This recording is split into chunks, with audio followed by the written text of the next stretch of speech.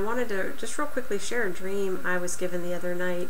Um, it's kind of strange because I don't typically get dreams about planets and the coming judgments, but uh, I I was standing outside in this dream. I was kind of like out in the country, and I think I was just looking up in the sky, praying, and I saw what looked like um, maybe like a part of the moon. And then all of a sudden, uh, it was just like the image in the sky just began to open up, and I could see what looked like another planet literally on top of our planet. And i mean it just like filled the whole sky. That's how big it was. You know it wasn't just like a little piece like the moon. You know you look up and see just a little piece in the sky. No it was like it just filled the entire sky.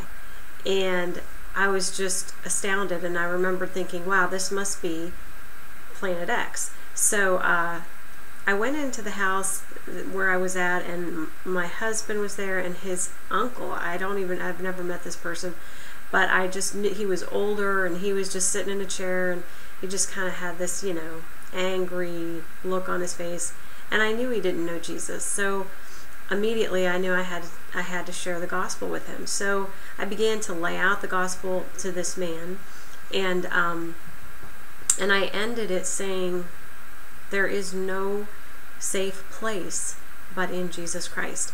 And he kind of gave me one of these, mm, you know, just shrugged it off.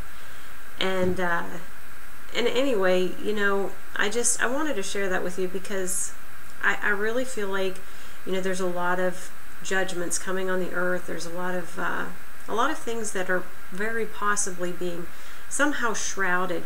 You know, at the end of that dream, I looked back up at the sky. I was looking for Planet X. I couldn't see it, uh, and it looked like there was a. Uh, you know how like on on a computer you can kind of create fake clouds. It was like there was this fake image of clouds cast onto the sky, so you couldn't see the planet anymore. And I just thought it was really odd. So you know, a lot of the things that are that are about to uh, you know descend upon the earth maybe being shrouded from us so that we can't see so that we you know so that we as the you know the, the great big population don't start going berserk because we obviously they feel we can't handle that kind of information. But uh, you know i'm just encouraging you to continue telling people the truth.